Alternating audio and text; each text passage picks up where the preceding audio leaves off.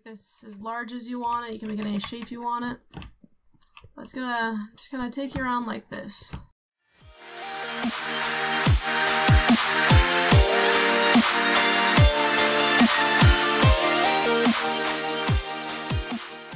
Hello everyone, my name is K3GamerK3. I hope you're having a great day. Welcome back to a new episode of my Minecraft build series. So last time I showed you the giant pit that I dug. Today we're gonna be putting in some towers. And I'm gonna show you how to make that perfect spiral staircase I was talking about. It's gonna look something like that. Uh, yep, I got it going all the way up there already. This side looks a little funny because it's got to meet with a corner. But it's all kind of rounded around the outsides. Kind of like an octagon shape. Um, but that's not the important part. You can make this as large as you want it. You can make it any shape you want it.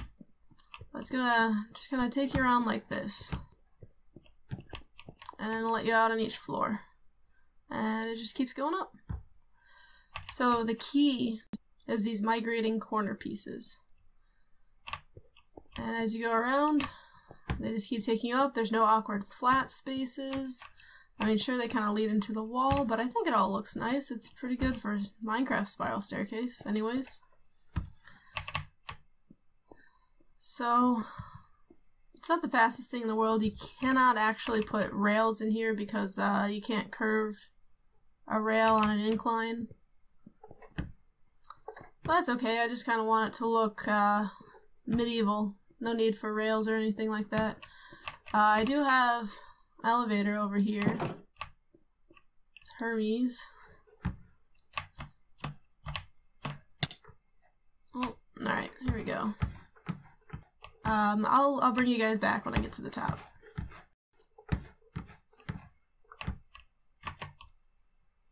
Alright, so we're at the top. And this is by no means what's going to look like when I'm done. I just have it all fenced off right now. Uh, yeah, I don't have anything on me to dig down the wall. Crap.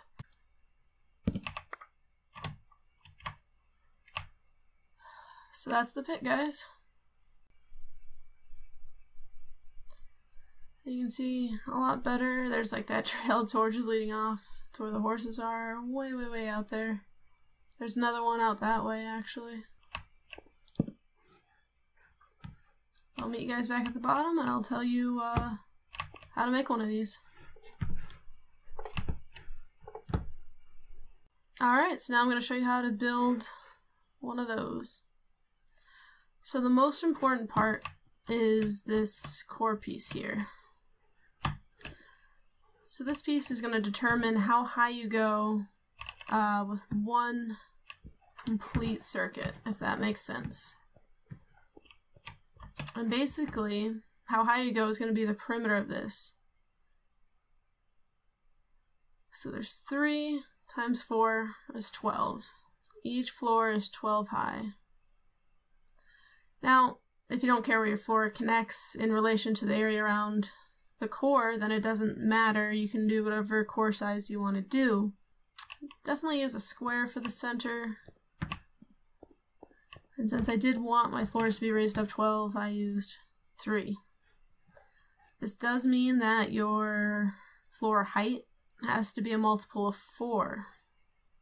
That's about the only catch with this. Unless, of course, you don't care where your floors connect, like on what side of this circle. Like if you want to put it in the center or something, that works. Next is the width.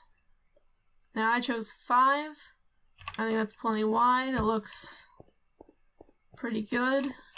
I don't recommend going too much over what the center is, which is 3. 5 is 2 over. That's about where you want it. Um, but again, it doesn't really matter. You can make this as wide as you want to, and you can make this outside any funky shape that you want to. It's really just the core part that matters. Um, and then the next part is the outside wall. I'd recommend an octagon because I think it uh, completes it pretty well, makes it circular enough. And it is based pretty much off square shape, so octagon's probably the best you're going to get.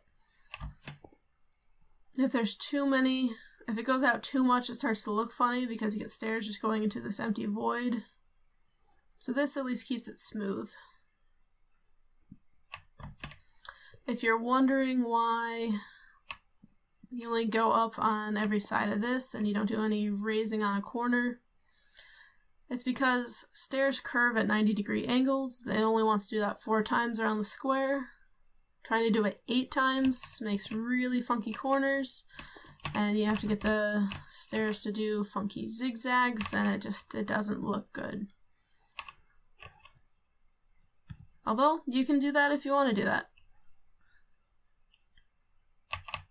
Alright, so once you have your once you've decided on a core and once you've decided on a width, I highly recommend like drawing this out, plotting this out, and I actually made a tool to help with that. Okay, so this is what I did in Excel. There's a crazy formula in here, and with a really brief five second explanation, it tells it to turn from a 0 to a 1 if it meets the conditions for any one of the eight sides or the core piece. And each one has uh, x and y minimum range, the actual equation for the line, and an x and y maximum range. Um, I mean, when applicable for any of them. So we just go over here. My core is going to be 3. And my width is going to be 5. And you can see it draws it for me. This is the exact dimensions that I want. So here, this is straight is 7. That just means this is 7, any one of the straight pieces. And diagonal is 5. That's the diagonals. Um, I did make this so it prefers longer straights over longer diagonals, but other than that, it keeps it pretty similar. It gives you your total diameter. And if you want it to, it'll even show you the core. And you can play around with this and do whatever numbers you want it.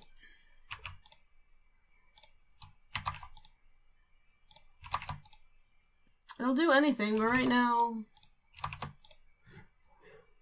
see if I zoom out here.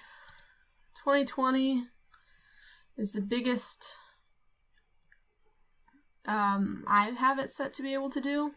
You can make this do as much as you want. All you have to do is copy this equation from here or from this one. Highlight all the places you want to put it and paste. So now if I make this larger, alright, so it's there, just it's not getting colored purple. Um, so all you have to do for that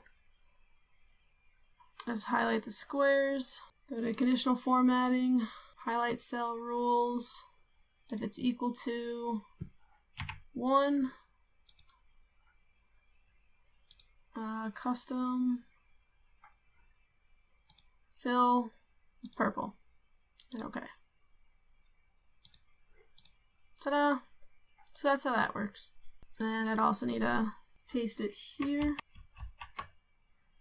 Alright, so you just saw the ones roll over. Alright, let's do that again real quick.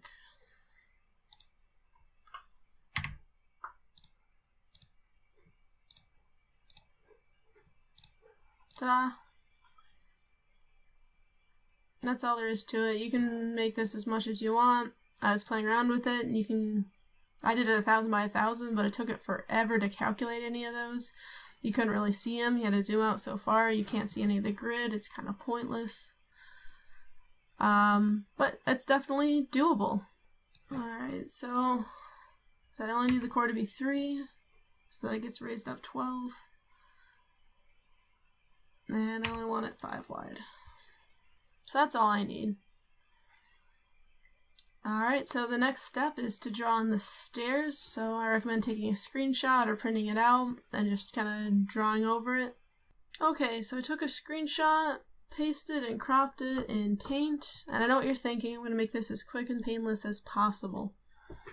So this is the part where you draw on the stairs so you know how to shape them and where to start. So all you do is draw some corner pieces in, like that. So I like going around the stairs counterclockwise as I'm going up. So these are just going to point like out with me. They're going to be like the far corners coming with you, but then out against you, and they're just going to point coming around like this. And all I have to do is extend those out, just like that. And then start drawing straight lines coming off their straights. And when you meet another corner, just turn with it. Stop when you hit a wall. So just draw lines between all of them, and it should look something like that. So that's the top plan. When you're deciding where to start, figure out where exactly you want it to connect. Each one of these is going to be raised up one. Um, so just find a line, and then that's the line you're going to start with, and you're going to build off it from there. I'm going to change this a little bit so that where it meets up is a little smoother and aesthetically pleasing. There, much better. Okay, so now that we have the build plan, I recommend laying out an outline. Never hurts, always helps. And after you get the outline done, the first thing you're, you're gonna want to do is build up the walls so you have something to work against.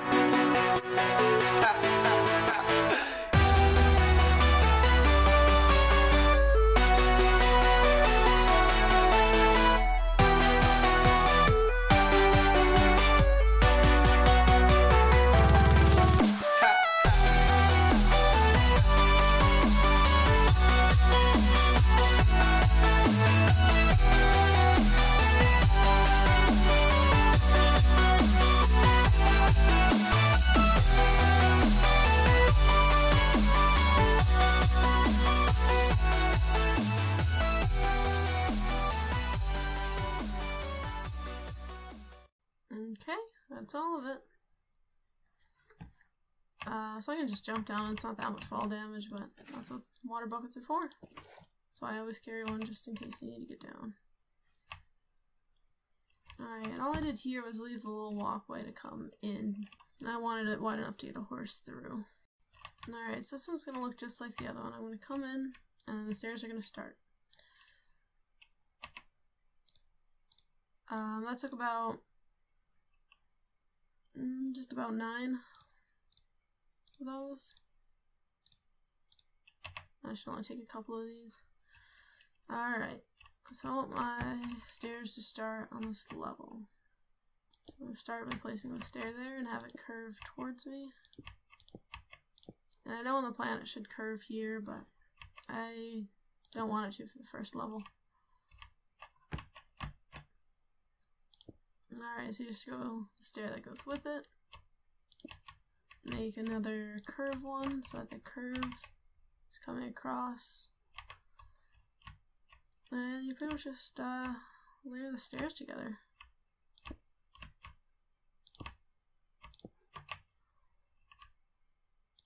Alright, so another straight, another straight, and this one's where the curve's gonna happen.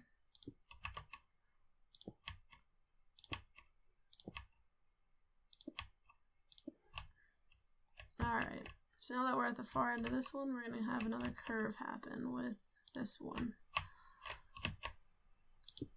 I'll always curve after.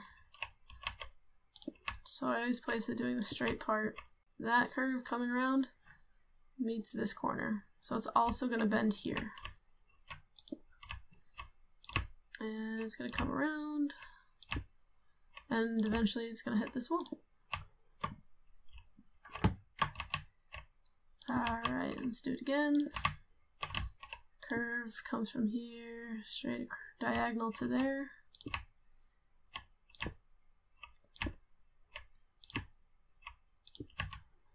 It's going to curve with this curve.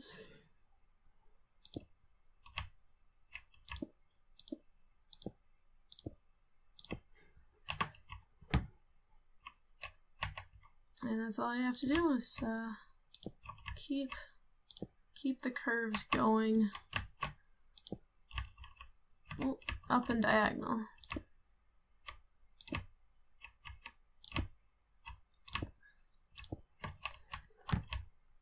I'm still getting used to this keyboard a little bit. It's a brand new one, it's mechanical now. The click should sound a lot better than the high-pitched squeak ones. It's supposed to be a silent mechanical keyboard. Yeah, a lot less clicky than mechanical ones would normally be.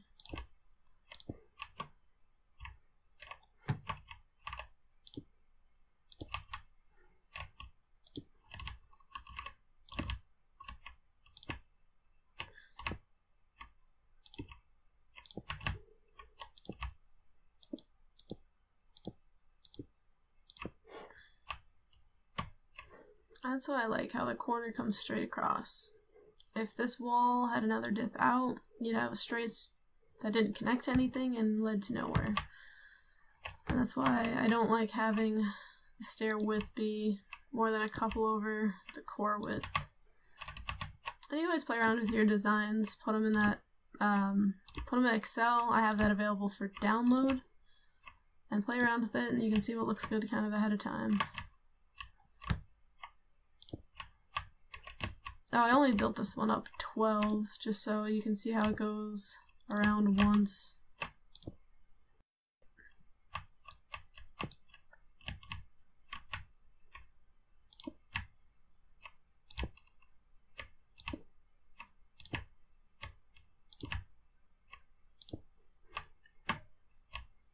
Alright, looks like we have two more. No.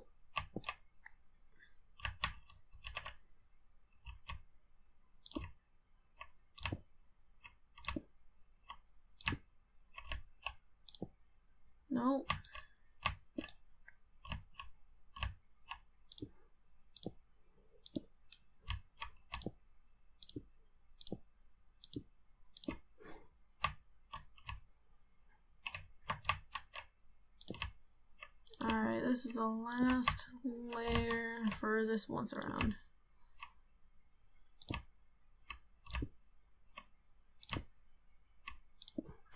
Alright. So this one should perfectly meet up with that one. Like I said, there should be some straights over here, but I didn't want the first layer to have those. I don't think it would look good, it would just be kind of pointless. Um, yeah, you just keep going, doing this up and around, build the walls up higher, and keep going with it. But it's a pretty functional staircase. There's no awkward flats, so there, and it gets you up and down faster because there's no flats. Get that one I dropped earlier. Works pretty well. And it's great because it fits horses, or you can have it fit horses. Uh, this would be a great place to hide a monster dropper. Um, a little, you only have room for one in the core and one this size. You can make the core larger, and it would work perfectly for a monster dropper. So, I'm going to keep building this one, and then I'm going to get the other two built. Uh, de-rendered. Eventually that one will go all the way up like this one. And then I just need the other two. And we'll have a nice outline for this castle.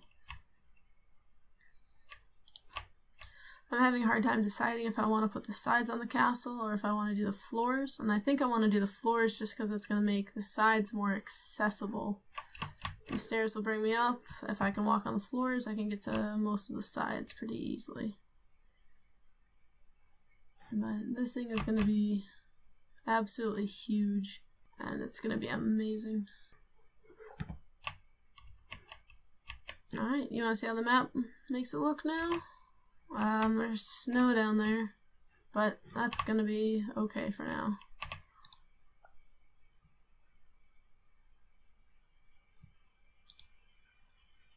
Alright, not too different, just kind of filled in there now. You see the fences I put on top for that one. Yeah, not too shabby. Okay, so I'm going to finish building these. I'll see you next time when I'm showing you how to put in the floors with a perfect lighting plan. It's optimized so the lights are perfectly spaced out as far as you can space them out without worrying about any mobs spawning. And I know I'm in peaceful, but I hope to turn this into survival once the castle's done. I don't know, I could do elevators, but I really wanted this to be more medieval, and I really don't have any slime in peaceful mode to do that right now. Maybe in the future, but that's gonna be a heck of a lot of slime to do that on all four sides. I think it's gonna be hard enough getting the automated storage and sorting system done. So that's how you make a perfect spiral staircase. Large scale, no awkward flats, geometrically perfect. It's my own design, if you want that Excel file, look in the description for a link to download it, as well as a link to download this file at this point so you can come check out the finished staircase and see if you like it for yourself. Alright, that's all for today. Leave a like for the perfect spiral staircase. Next time I'm going to be putting in the floors. We're going to get a sense of how massive this is going to be. And it's going to have an optimal lighting plan put into it. So don't miss that. After that one, we'll be putting the sides on this. And that's going to have a really nice intricate design. Don't miss that either. Subscribe for more videos. Be my friends on Facebook and Twitter. And I hope you guys have a great day. I'll catch you next time.